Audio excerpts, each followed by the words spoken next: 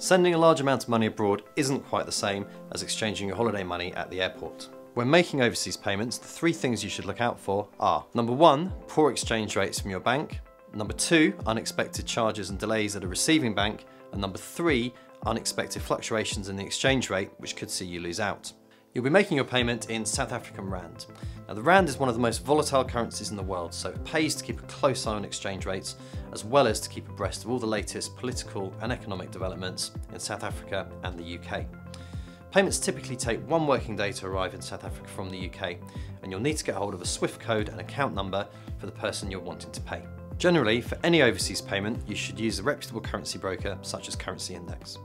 Not only can you save up to £4,000 for every 100,000 transferred compared to using your bank, but you can benefit from the personal service of a dedicated account manager who you can talk to anytime about which way exchange rates are moving and why.